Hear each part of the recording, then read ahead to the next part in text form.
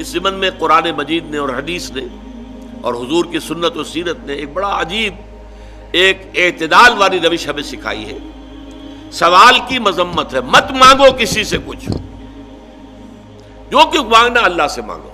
मांग, मांगो अल्लाह से, इंसानों से मत मांगो। मांगने वाला अपनी इज़्ज़त नफ्स जो है हथेली पर रखकर पेश करता है, जिससे मांग रहा है। मुझे दीजिए कुछ। इज़्ज़त नफ्स तो यहाँ रखी है ना?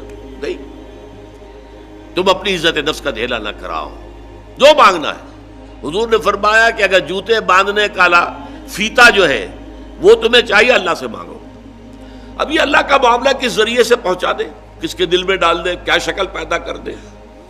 तमाम इसबाब जो है आलम के, वो तो अल्लाह के कब्जे कुदरत में है। कौन से सबब के ज़रिए से अल्लाह ताला वो तुम्हारी ज़रूरत पूरी करा दे, ये उस पर छोड़ो। मांगो अल्लाह से। इंसानों के सामने दस्ते सवाल दराज मत करो। लेकिन दूसरी तरफ़, अगर कोई अपनी हथेली आपके सामने कर ही दे तो इसे ठोकर मत मारो।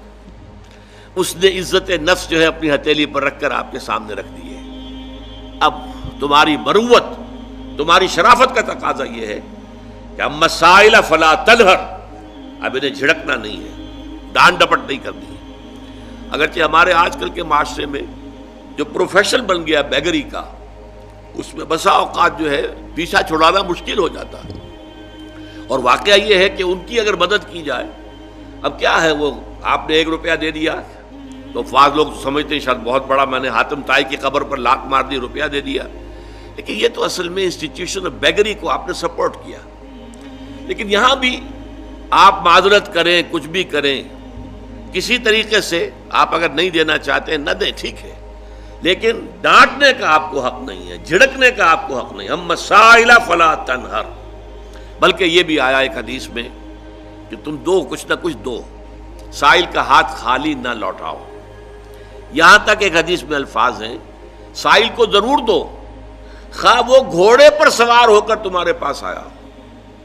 घोड़े पर सवार होकर आने वाला जो है, वो तो साहिब इज़्ज़त साहिब हैसियत इंसान होता था ना। घोड़ा तो अरब में हर एक के पास नहीं होता था।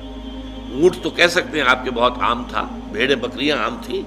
घोड़ा जो है वो तो किसी साहिब सरवत इंसान के पास ही होता था, साहिब हैसियत। तो घोड़े पर सवार होकर आ रहा है। लेकिन तुम्हें क्या मालूम, अंदरूनी तौर पर उसकी क्या कैफियत है? क्या उसके ऊपर विपता पड़ गई है? कौन से सूरत हाल से वो अचानक दो चार हो गया है? लिहाजा, दे सकते हो तो दो।